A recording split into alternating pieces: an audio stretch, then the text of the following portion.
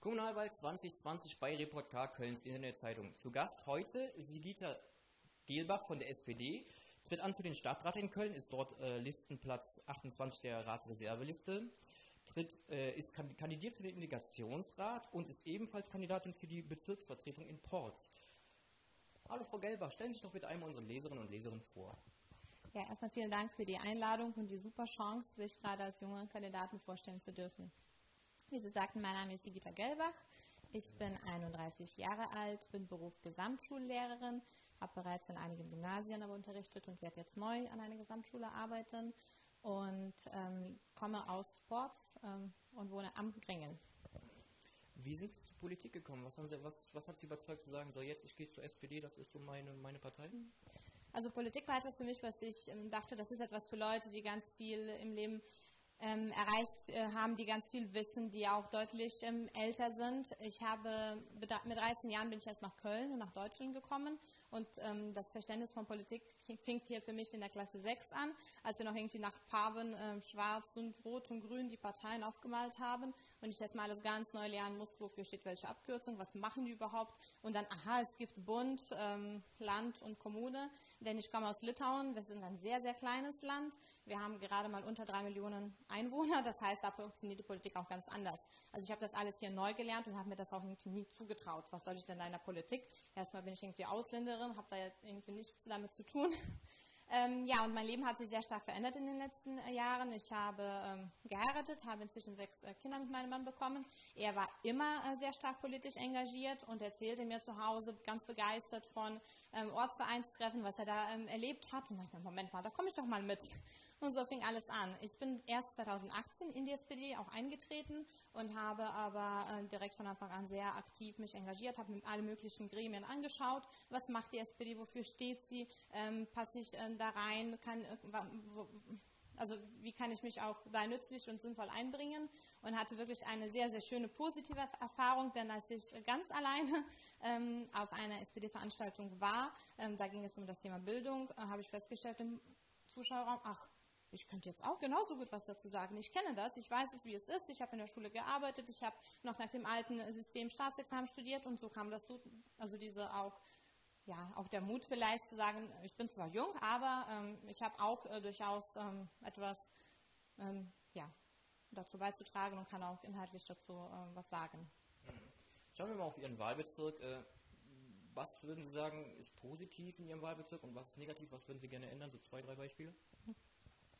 Ähm, Finde ich toll, dass Sie auch fragen, was positiv ist, denn oft ähm, orientiert man sich gerade an den äh, Problemen. Ich versuche das zu verknüpfen. Eines der negativen Sachen, worüber sich auch viele natürlich zu Recht beschweren, in Urbach also, ähm, sind, wir haben dort vier Spielhallen und direkt anschließend positive, äh, wir haben ein sehr, sehr schönes Café, ähm, hat jetzt dort aufgemacht auf einer der Terrassen und ähm, der Gedanke dahinter auch eben, wie werten wir unseren Stadtteil auf? Also es ist auch eine der Sachen, äh, die Vision, wo sehe ich meinen Stadtteil, mein, äh, meine Fädel in äh, zehn Jahren, wie, was kann ich dazu beitragen und diese eben Aus, Aufwertung nach ähm, außen und de, dieses, das, was man unter das Empfehle, sich wohlfühlen und das lebenswert äh, zu machen, äh, vor Ort für die Menschen unterschiedliche Angebote zu haben. Das ist jetzt so ein Stück gerade nach der Corona, als es auch gerade den Gastronomen so schlecht ergangen ist, freut uns das umso mehr, dass äh, da jetzt äh, jemand äh, Neues ist. Mhm. Kommen wir zu Ihren äh, fachpolitischen Schwerpunkten. Welche sind das? Wo sehen Sie sich selbst? Da, da möchte ich was verändern. Das sind so meine Schwerpunkte. Mhm. Wo ich etwas verändern möchte und ähm, auch was verändern kann, das ist eindeutig ähm, Sozialpolitik, Familienpolitik, ähm, Integration auch. Mhm. Äh, auch Thema Bildung. Sie sind ähm, Gesamtschullehrerin. Ähm, es fehlen 54 Schulen in Köln. Was ist denn da Ihr Konzept zur Verbesserung? Ähm, die Konzepte äh, also stehen schon fest. Wir haben zum Beispiel vier Neubaugebiete. Im Falkenhorst entsteht etwas, an der Friedensstraße, an der Fuchskaule. Und ähm, es ist allen klar, da sind alle Parteien auch d'accord. Wir brauchen in Ports eine weitere ähm, Grundschule, mindestens eine weitere Grundschule, jetzt in Bezug auf meinen Wahlkreis. Und jetzt wird eben ausgehandelt, wo entsteht diese Grundschule, was ist der beste Platz ähm, für eben Anwohner, für alle, für die Erreichbarkeit und für die Infrastruktur. Also ähm, der Schulentwicklungsplan ähm, ist eben dann das, der Leitfaden, an dem wir uns orientieren.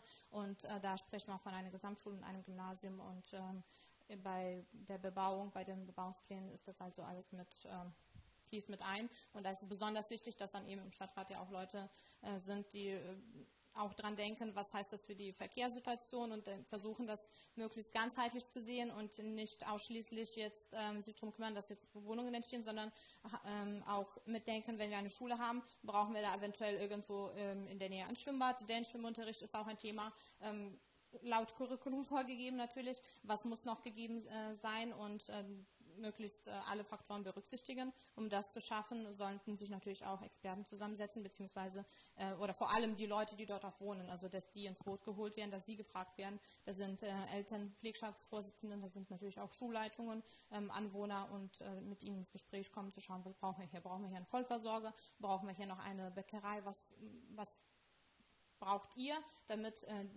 dieses Neubaugebiet für euch auch lebenswert ist? Mhm. Ähm, in Ihrem Kommunalprogramm geht es auch um äh, einen besseren Übergang von Kita zur Grundschule. Wie wollen Sie das gestalten?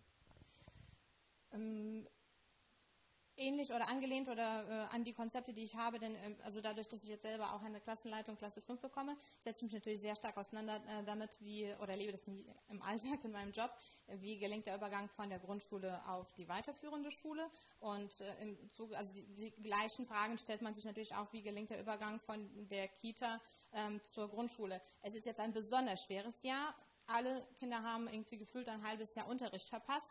Ich stelle mich persönlich darauf ein, auf sehr besorgte auch Eltern auf, und setze darauf, möglichst engen Kontakt äh, zu haben, also wirklich die Kinder und auch deren Eltern abzuholen. Das ist, denke ich, was noch ähm, gerade im primären Bildungsbereich, also in den Kindergärten noch wichtiger ist ähm, beim Übergang zur Grundschule. Also enger Kontakt äh, zu Eltern, Austausch zwischen Erzieherinnen und ähm, Grundschullehrerinnen, eventuell äh, gegenseitige Besuchstage, gemeinsame Aktionen wie zum Beispiel Kölle Putzmunter, dass diese schon gestaltet werden äh, mit den Vorschulkindern, die dann vielleicht auch in die Grundschule schon mal gehen. Das schwebt mir so konkret vor und das ist auch etwas, ich habe halt sechs Kinder, die jetzt, das zweite wird jetzt eingeschult und jedes Jahr gefüllt ein weiteres. Und mir liegt selber natürlich auch sehr viel daran. Das heißt, ich bin in der Lage, die verschiedenen Ideen, die mir so vorschweben, auszuprobieren, heranzubringen, zu schauen, was funktioniert und äh, was, ähm, wo fühlen sich auch die Kinder und die Eltern am meisten mit wohl. Kommen wir zum weiteren Thema. Wir hatten ja gerade schon die Schulen, Thema Sanierung äh, von Schulen. Wie sieht es da bei Ihnen aus? Was, was denken Sie, was möchten Sie zuerst angreifen? um ne, die Schulen zu sanieren? Wir sind natürlich alle jetzt sehr stark in dem äh, Gespräch über das Thema Digitalisierung. Ähm, der Digitalpakt, was äh, müssen die Schulen auch haben, was hätten sie schon längst haben müssen. Und ich denke, aus aktuellem auch Anlass oder aus aktueller Notlage heraus wird das äh, das Thema sein, was ähm, als erstes angepackt wird, ähm, dass alle Schulen tatsächlich auch über WLAN äh, ähm, verfügen. Und ein weiteres sehr wichtiges Thema ähm, im Zusammenhang ist auch die Europäische Datenschutzverordnung. Ähm, konkret äh, wie kommunizieren Lehrerinnen und Lehrer mit ihren Schülerinnen und Schülern, äh, was dürfen die Schüler zu Hause, was dürfen sie nicht? Und auch nochmal ähm, Medienerziehung, Medienbewusstsein, wie nutze ich Medien sinnvoll, was ist zu viel, was ist zu wenig. Also ich, was Medien angeht, äh, bin ich ähm, ja vielleicht noch ein Stück weit noch konservativ und hatte mir persönlich vorgenommen zu äh, den Jahresvorsätzen weniger Handy, weniger Facebook. Und dann kam auch alles anders. Das heißt, auch da hat sich mein, mein Blickwinkel durchaus geöffnet. Und dennoch ganz wichtig zu schauen, was ist sinnvoll. Das, äh, auch gerade im Grundschulbereich äh, ist das gut oder weniger gut, wenn Erstklässler schon Zoom-Konferenzen äh, machen ähm, und was ist dann der pädagogische Gedanke dahinter. Mir ist es wichtig im Bereich Bildung, dass wir eben in erster Linie auf das Pädagogische gucken. Inwiefern bringt das oder inwiefern wirkt sich das positiv auf die Persönlichkeitsentwicklung des Kindes aus? Ähm, und dann, was brauchen wir für Mittel, zusätzliche Mittel? Denn äh, Technik und Digitalisierung kann nur ergänzen, nimmt aber niemals oder aber kann niemals einen äh, persönlichen Kontakt face-to-face -face ersetzen. Jetzt waren wir ja gerade schon beim Thema Kinder, perfekter Übergang zum Thema Familie, was, was auch ein wichtiges Thema von Ihnen ist. Ähm, ich möchte auch direkt das Thema Wohnung noch ein bisschen mit an, ansprechen, Familienwohnungen. Ähm, wohnen in ihren, also ist das Wohnen in Ihrem Stadtbezirk noch zu fairen Preisen möglich? Und wenn ja, wo? Wenn ja, wo? Ich denke in Köln nirgends derzeit leider. Es ist äh, äh, tatsächlich nicht witzig, wenn man es äh, so sieht. Das ist sogar sehr traurig, denn ähm, wir haben sehr viele bei uns in der Gegend ähm, ähm, viele junge Familien, aber auch viele noch äh, ja, Häuser, die von Generation zu Generation zum Beispiel vererbt äh, werden, frei werden. ähm, oder verkauft werden, die sich dann keiner leisten kann. Also ich glaube, unter einer Million in Köln ein Haus zu erwerben, ist äh, fast äh, schier unmöglich. Ähm, das heißt, konkret bei der Erstellung äh, oder bei, der bei den Bebauungsplänen sollte man ähm, schauen, da schauen wir auch als Partei, was ist da der Bedarf. Also wir haben es ja alle auf mindestens 30 Prozent sozial geförderten Wohnungsbau geeinigt. Ähm, aber es gibt natürlich, äh, die Nachfrage ist deutlich äh, höher als äh, das, also über ähm, viel über die viel mehr als die Hälfte der Menschen in Köln haben Anspruch auf Wohnberechtigungsschein. Das heißt, mit 30 Prozent decken wir das nicht ab. Und dann um mich zurückbeziehen auf die ähm, Erläuterung von vorhin, was braucht es, damit sowohl viele Wohnungen entstehen können, das heißt, welche ähm, sind es Wohnungen, die eher für Familien sind oder Senioren oder ähm, zum Beispiel äh, behindertengerechter äh, Wohnungsbau.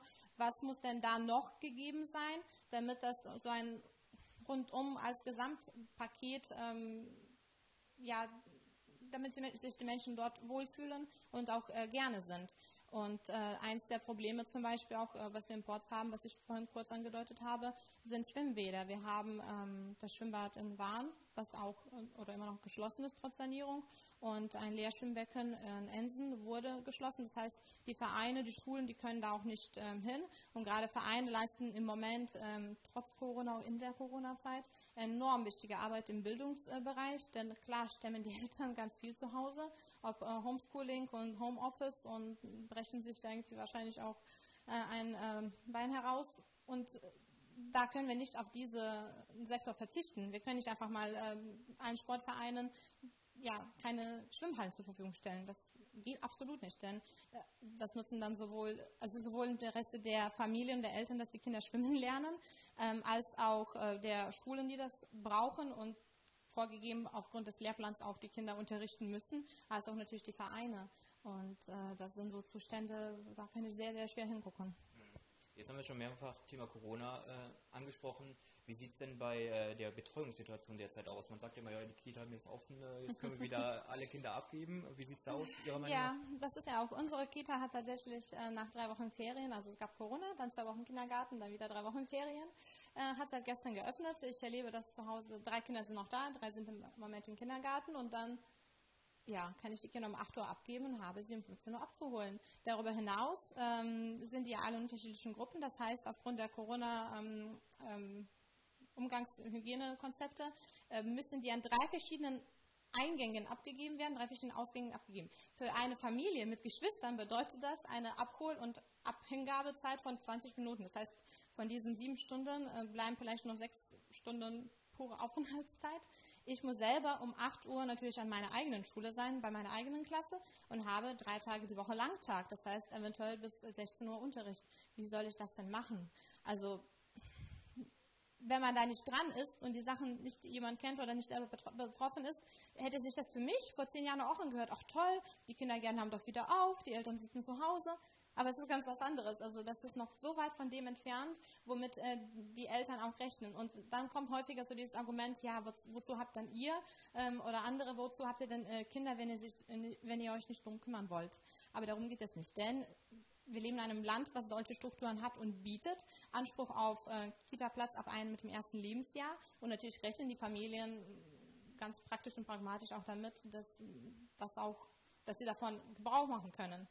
Ja, und jetzt bricht halt ähm, alles zusammen. Und das sind tatsächlich die Familien dann aus meiner Sicht der meisten Leidtragenden, wenn wir von geschlossenen Spielplätzen ähm, sprechen, von ähm, keinem Training, was stattfindet, von allen sozialen ähm, Kontakten, die den Kindern wegbrechen. Wie willst du das einem Vierjährigen erklären, dass es nirgendwo mehr hingehen darf?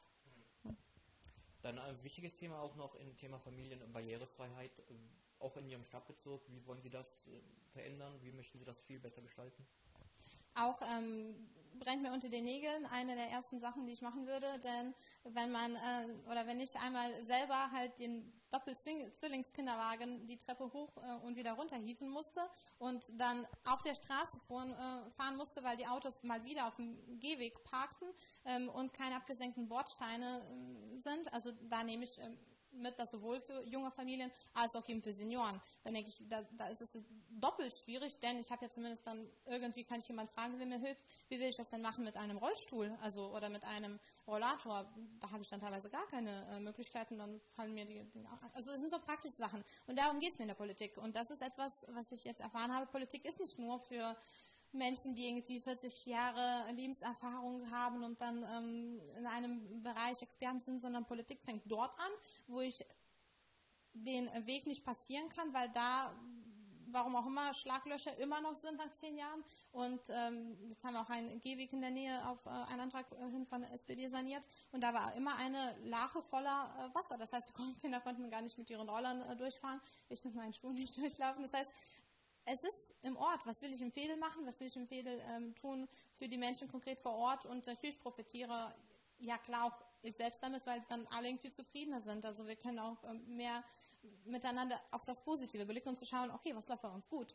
Und das finde ich eine sehr, sehr schöne Sache. Also eben positiv zu gucken, geht aber erst dann, wenn tatsächlich auch etwas Positives schon erreicht worden ist. Mhm. Ein Blick auf Sie, wie sehen Sie allgemein Ihre Chancen in allen drei Sachen jetzt?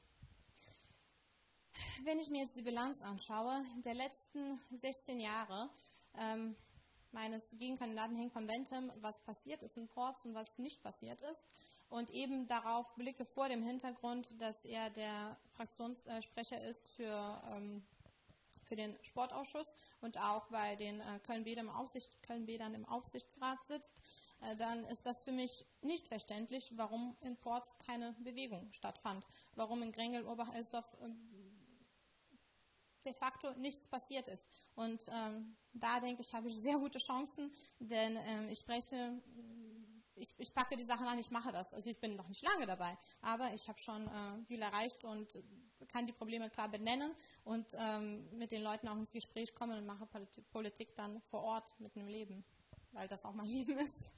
Es wird spannend. Frau Gelbach, äh, Frau Gelbach von der SPD tritt an für die Bezirksvertretung, für den Stadtrat und für den Integrationsrat. Vielen Dank, dass Sie heute da waren. Danke für die Einladung nochmal.